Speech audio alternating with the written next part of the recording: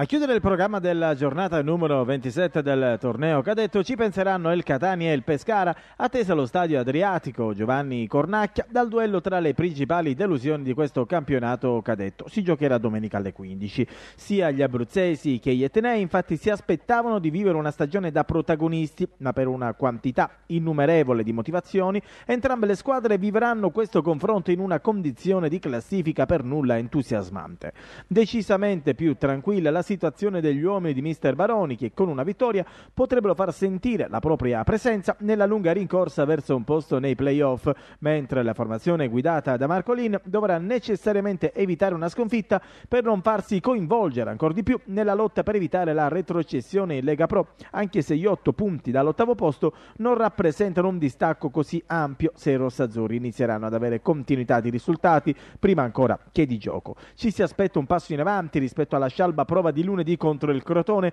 e si spera nel gol dell'ex di Riccardo Marieno che a gennaio ha lasciato Pescara da capitano per tuffarsi nel nuovo corso catanese targato Marcolin dell'Icarri Cosentino.